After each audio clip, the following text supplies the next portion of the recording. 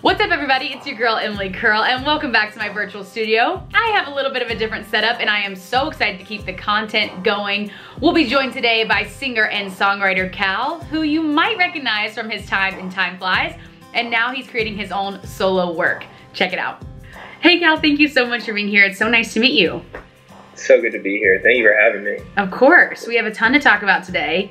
You know, I know I noticed that you've been active on on your platforms with everything going on, what are you currently doing to sort of channel that energy of, of what we're all feeling and going through? I don't know. I kind of there's a there's a helplessness, and then there's like there's a helplessness tied to the, the desire to be proactive.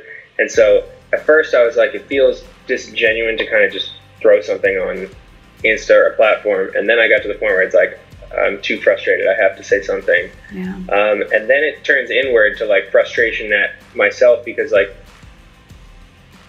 this has been, it, it's obvious. And I think mm-hmm. we've all been complacent to a fault. And it's like, yeah, I, I don't know. I don't know what it takes in history for moments to wake you up, but I think we've all been awoken and it's, it's, yeah, I think I've been trying to find the right causes to donate to. Yeah. Like, you know, you find things like in New York, police, anything that happens in the police department is sealed.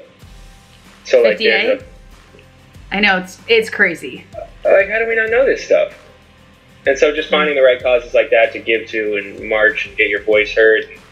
You know, on one hand, it's like, oh my God, what's happening in America? On the other hand, it's like, yes, this is this is America. Like, not to childish Gambino it, but like, protests are how we got here. Like, we didn't like tyranny, and so we rioted and rose up and yeah. got rid of it. And it's like, this is this is what we do. This is we have to make things better, and we have to stand with the person who has the least, so we can help them be better. Uh, I don't know. I, I like it's weird to talk about because. Yeah.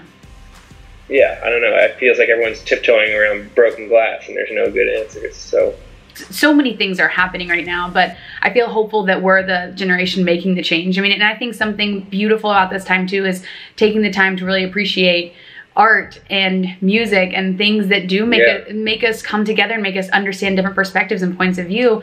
And you released new music, which congrats, I'm so excited. Thank you. Thank um, you. Catch, such a good song. And you said it was one of your favorites so far, right? Really, it really is. Why is this one so special to you? I don't know. I think you know, you get asked in all these interviews like, well, who are your influences, all this stuff, and it's always been classic rock for me. It's always oh, been classic rock, really, hip hop, oh, yeah. Uh-huh. So it's like Crosby, Stills, Nash, and sometimes Young is you know one of my favorite bands ever, and um, I, I just I listen to Yes a lot, so I have all these influences, and I love rapping, and I love, and it's kind of been like one of the my best assets and almost one of my biggest flaws is that like I like to bounce around genres, mm-hmm. and it's like, wait, what do you what do you do? I feel like I've found like I actually feel like I can do something more classic rock, but in my style. And I think when you put this song on, what's funny is that like I have all my friends hitting me up like, oh my god, I love this song, but then I have all my mom's friends, the 60 plus crowd, who are like, who are like jamming so to it, incredible. And I think, um, I don't know, I just feel like all my next songs have this like yeah I would have listened to this in my like classic rock phase, but I also listen to this in my now phase, and it just feels mm. I feel like I'm in a good place with it. I'm excited. When you think about you know yourself right now, like what are you most appreciative of this moment when you're here during this time? What what's something that sticks out to you that you're like, okay, I'm this is good. I, I don't think that this is just an individual thing for me right now. I feel like I've never been so introspective. Mm. And I think I think that's kind of just everyone right now is is like, how did we get here?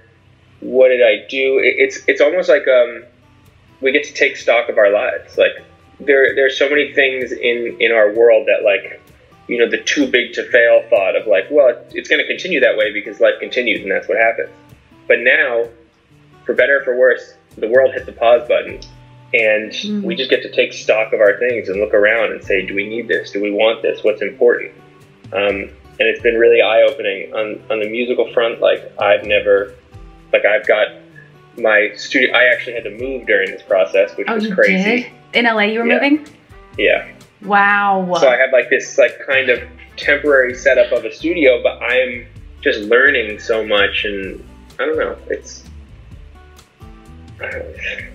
It's like it, I, I I don't know how to answer it because I almost feel guilty finding joy and pleasure in certain moments mm. when the world's going through so much pain. Um, but I am I'm enjoying learning things about myself and the world and all these things and how to be yeah. better. And I also love Dressed Up in White. I was watching that before. The video, I was tearing up.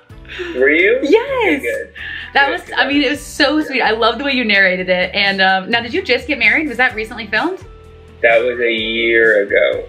A year, okay. I should know that, but yeah, a year ago.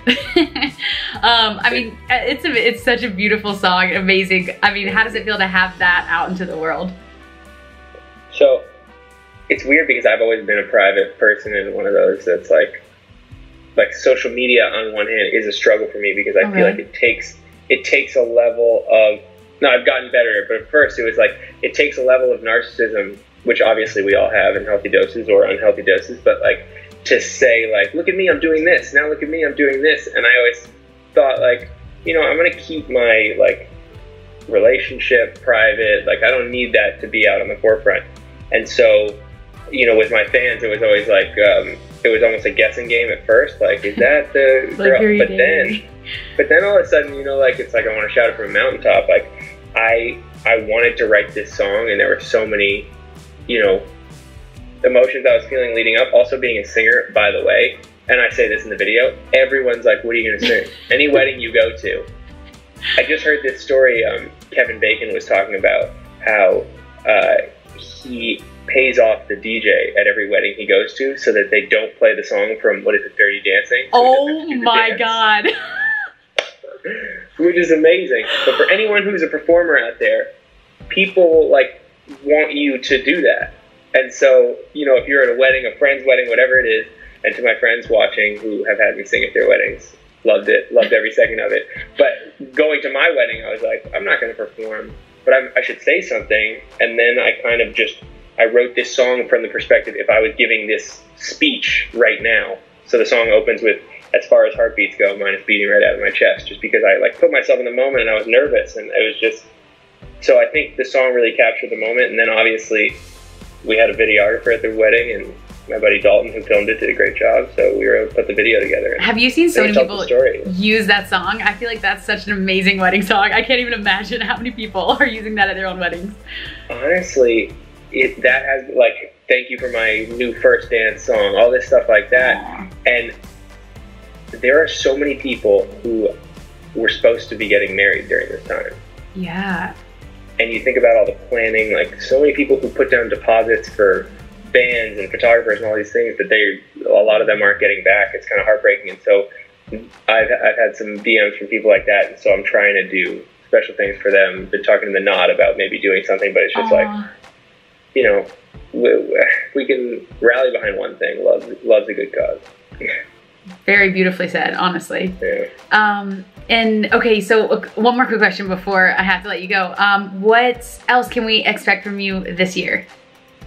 So, well, I've been I've been writing a lot and producing a lot for other people, which has been which mm. has opened up my eyes as as a solo artist because it's kind of you know you get to practice being in other people's worlds and seeing like everyone brings their own like secret sauce to a session or something, and then you get to like, oh, I never thought about things that way. Um, and so, as I said before, I really feel like I found kind of exactly who I am. And when I um, when I play catch or someone sends me a video of them singing catch or listening to it, I have this pride of like, oh my god, I cannot wait for you to hear what is about to come because I really feel like I'm I'm where I'm supposed to be. Wow, that's awesome. So we so we can expect more music this year? Oh, definitely. Okay. Exciting. Can you can you give us any other details or no? That's all you can tell us now, just soon? Uh, soon. I would say probably in a month and a half to two months, mm. I have a mm. song coming out, which um, I'll say it's called Cut Me Off. We are live right now. I hope that's okay.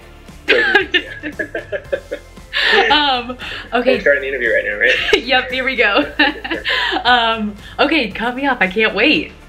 Yep. But you can't tell us anything else. Okay, but we'll just hang on to that knowing in the next few months we'll be getting that. It's awesome. I'll tell you that. okay, we'll take it. Cal, thank you so much. This has been so fun. I so appreciate yeah. your time. Thank you. Thank you so much for watching. Make sure you stream all of Cal's music, including his new album Catch, on iHeartRadio. Can't wait to see you next time. Bye, guys. Hey guys, thanks so much for watching. Did you like that video? You can check out more over here. And don't forget to subscribe to iHeart right here. And if you're already a longtime fan, make sure you ring the bell down below so you don't miss a single video. Bye guys.